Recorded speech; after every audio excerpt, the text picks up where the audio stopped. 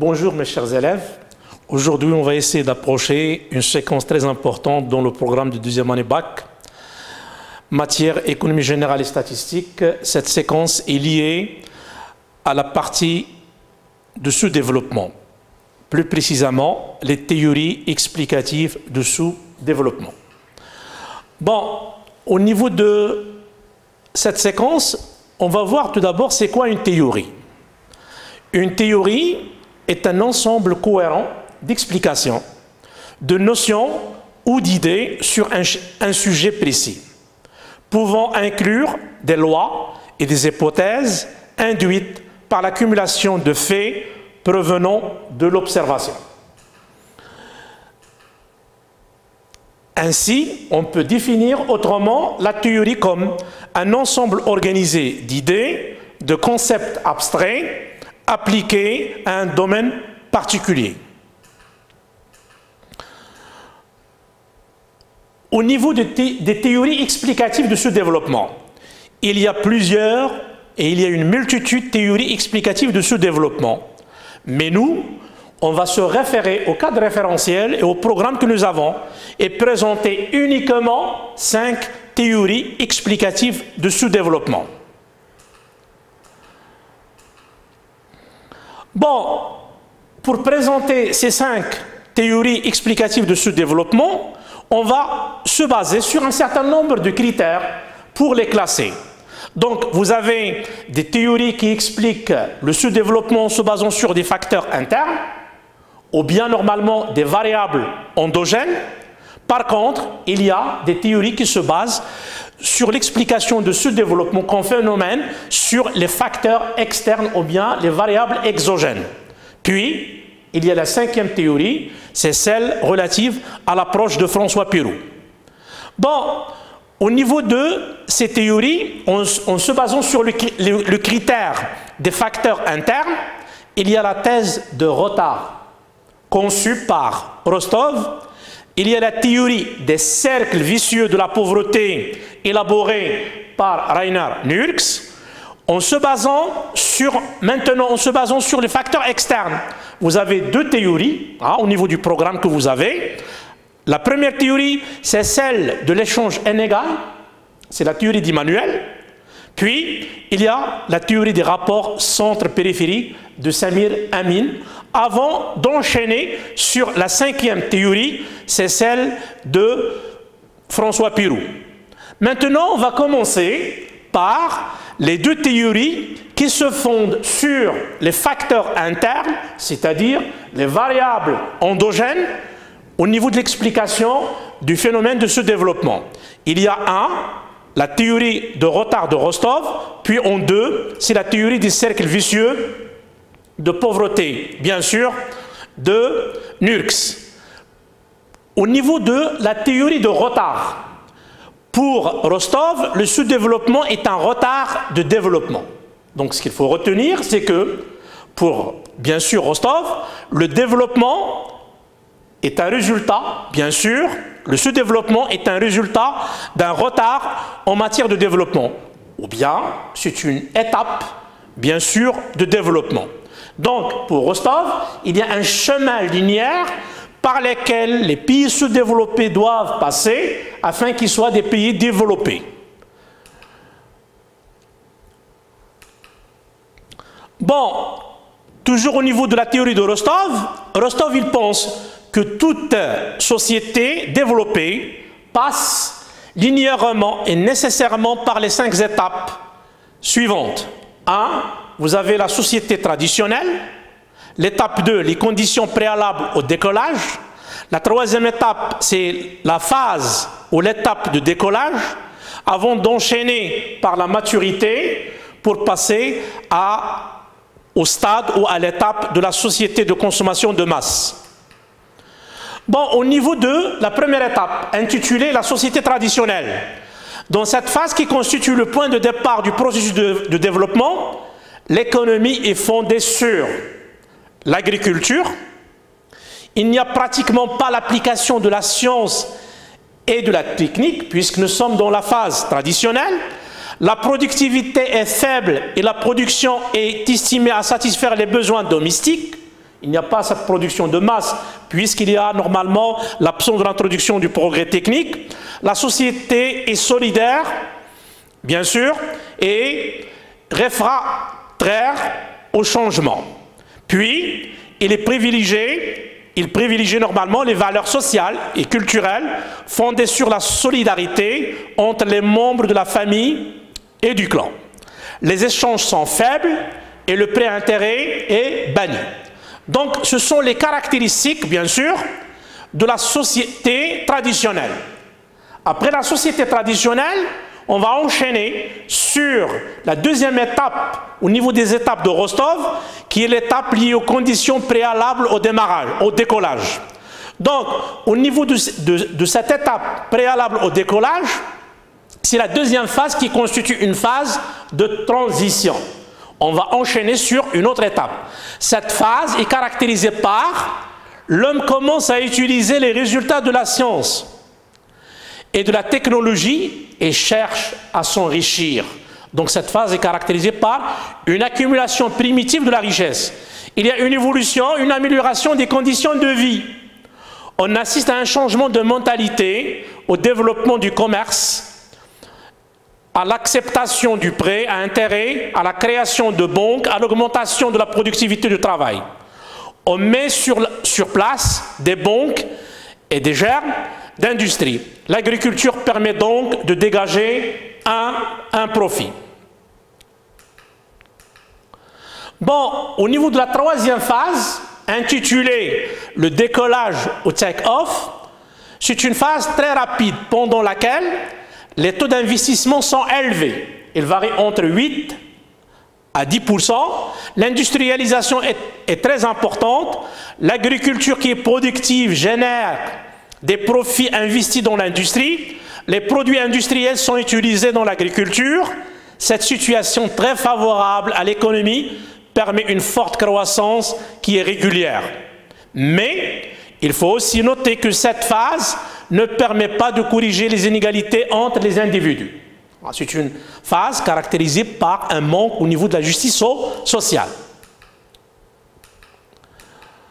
Bon, au niveau de la quatrième phase, intitulée phase de maturité, pendant cette phase, tous les secteurs profitent des, des fruits de la croissance du progrès technique et du progrès technique. Les principales bases de développement sont donc établies pendant cette phase, de grands groupes industriels, financiers et commerciaux se créent, se tiennent la croissance. Donc là, il y a un certain nombre de méga-projets qui vont soutenir, qui vont booster la croissance économique. La technologie joue un, un grand rôle à cause des interventions et des innovations. Au niveau de la dernière phase dont la théorie conçue par Rostov, qui est la théorie de retard, c'est la phase de consommation de masse. Pendant cette dernière phase, la consommation devient très importante, la population parvient à satisfaire leurs besoins en disposant suffisamment de biens et services à cause de la hausse du pouvoir d'achat, les services et les loisirs se développent, le niveau de vie, bien sûr, augmente, l'État intervient de plus en plus dans l'économie. Maintenant, après la, théorie de retard de Rostov, on va enchaîner sur une deuxième théorie qui est celle de Reinhard Nux intitulée Les cercles vicieux de pauvreté. Bon, le sous-développement est conçu comme un blocage de développement. C'est-à-dire qui bloque le développement C'est le sous-développement. Pour Nurks, pour notre auteur, dans tous les pays en voie de développement, il y a une faiblesse de revenus. Les revenus étant consommés presque dans leur intégralité. Si le revenu est consommé dans son intégralité, l'épargne tend à être nulle. L'épargne est aussi faible, puis que l'épargne devrait servir à financer les investissements, ces derniers sont donc faibles. Donc, pour Nurks, faiblesse de revenus, faiblesse de l'épargne, faiblesse de l'épargne, faiblesse de l'investissement, faiblesse de l'investissement, faiblesse de production, et ça tourne dans un cercle vicieux de pauvreté. Bon, on a un schéma explicatif. Bon, si vous avez revenu faible, automatiquement la consommation sera faible. L'épargne sera faible. Si vous avez normalement une épargne faible, vous aurez un investissement qui est faible. Et si vous avez une consommation faible, l'incitation à l'investissement, bien sûr, sera faible. Vous avez vu ça au niveau de la demande globale, qui est composée de deux composantes essentielles, la consommation, donc la demande globale, c'est la consommation et l'investissement. Au niveau de la faiblesse de l'investissement, il impacte normalement faiblement la productivité et c'est difficile de booster normalement la croissance économique, la croissance sera faible. Maintenant, on va passer à d'autres théories explicatives, bien sûr, du phénomène de sous-développement qui se base sur les facteurs externes. Après avoir présenté les, deux théories, celle de Rostov et du NURX qui se base sur le facteur interne. Maintenant, au niveau des théories explicatives de ce développement, au niveau, en se basant sur les facteurs externes, on a essentiellement deux théories. Nous avons la théorie de l'échange inégal et le rapport, bien sûr, centre-périphérie. Bon, au niveau de la théorie de l'échange inégal, c'est une théorie conçue par Arguiri Emmanuel. Pour Emmanuel, qui est un économiste qui s'est intéressé aux, aux échanges internationaux, Lorsqu'on dit échanges internationaux, c'est échange entre les deux pays, entre deux ou plusieurs pays, et on reproduit normalement la théorie de Ricardo, et en particulier à la situation des pays en voie de développement. Il est notamment, bien sûr, Emmanuel, connu pour ses écrits sur l'échange inégal, c'est-à-dire il n'y a pas d'équité au niveau des échanges internationaux. Emmanuel refute certaines hypothèses de la théorie ricardienne du sous-développement, en particulier les mobilités du facteur capital. Pour lui, normalement, il applique la théorie de l'exploitation de Marx aux échanges internationaux.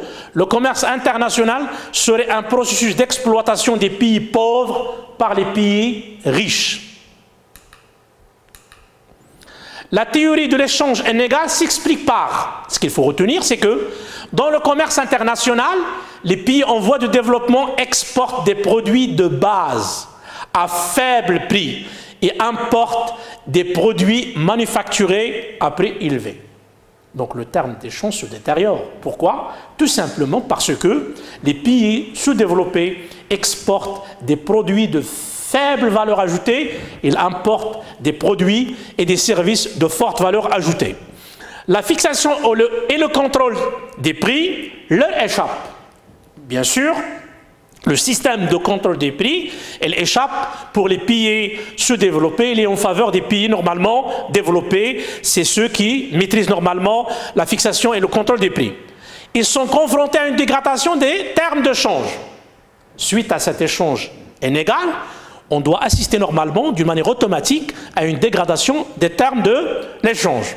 Le problème essentiel des pays pauvres est le revenu national, qui en grande partie passe vers les pays industrialisés sur la voie du commerce international.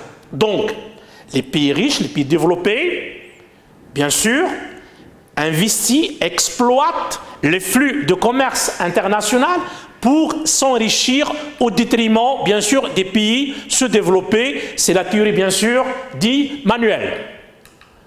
Maintenant, au niveau de l'avant-dernière théorie, qui est la théorie des rapports centre-périphérie. C'est une théorie développée par une multitude d'économistes, mais on va retenir normalement l'économiste égyptien Samir Amin, qui a forgé normalement un certain nombre de concepts relatifs à cette théorie dite centre-périphérie.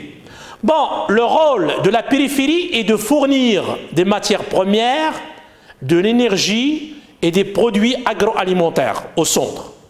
En échange des produits manufacturés. Vous avez un centre développé et une périphérie sous-développée. Normalement, ce mécanisme d'échange entre le centre et la périphérie trouve un certain nombre d'éléments explicatifs pour le sous-développement comme phénomène pour un certain nombre de pays. Le centre développe bien sûr, puisqu'il est développé, il va développer ses branches industrielles et introduire le progrès technique tandis que la périphérie développe l'industrie extractive et l'exportation conformément aux intérêts bien sûr extérieurs, c'est-à-dire pour répondre à une demande externe, pour satisfaire les besoins des pays développés. Le progrès technique a constitué un facteur décisif à l'approfondissement des décalages, bien sûr, des deux catégories de pays appartenant au centre et respectivement à la périphérie. Donc ce qu'il faut retenir, pour Samir Amin, dans la théorie des rapports, bien sûr, centre-périphérie, vous avez un centre développé et une périphérie normalement sous-développée. Ceci est dû normalement à la nature de la spécialisation. Le centre est spécialisé dans les produits manufacturés, caractérisé par une forte valeur ajoutée. Par contre, normalement, euh, la périphérie est spécialisée dans la production relative à l'extraction des produits miniers et des produits de faible valeur ajoutée. Bon, avant de conclure, on va essayer d'approcher la dernière théorie qui est celle de François Perrault. Donc, au niveau de la théorie de François Perrault, normalement, pour lui, normalement, il explique le phénomène de sous-développement comme une transversalité entre plusieurs variables. Il y a normalement une combinaison, bien sûr, des facteurs mentaux, sociaux, culturels, économiques, non économiques, dont l'explication de sous-développement. Donc, ce qui est nécessaire maintenant à retenir dans cette séquence des théories de ce développement, essayez, mes chers élèves, de faire une récapitulation de toutes ces théories qui sont au nombre de cinq, en précisant les auteurs, l'intitulé des théories, puis le, contenu, bien sûr, de chaque théorie. Donc, la séance d'aujourd'hui touche à sa fin. Merci pour votre attention. Encore une fois, bon courage pour le reste. Et merci beaucoup.